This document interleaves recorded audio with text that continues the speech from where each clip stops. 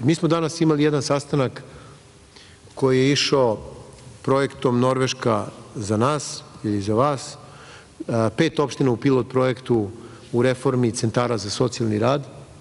To je nešto što, ako se sećate, je i naša, da kažem, našim projektom predviđeno da u toj reformi centara za socijalni rad unapredimo kvalitet vašeg rada, ne samo u smislu kapaciteta, ne samo u smislu uslova, već i ulaganjem u vas. Tako da to je s jedne strane. S druge strane, kad su u pitanju ustanove, u nekom narednom periodu, znači akcijnat naš će biti na povećanju broja ljudi koji rade da bi kvalitet usluge bio veći i naravno na uslovima koji su u tim ustanovama kad su u pitanju naši korisnici.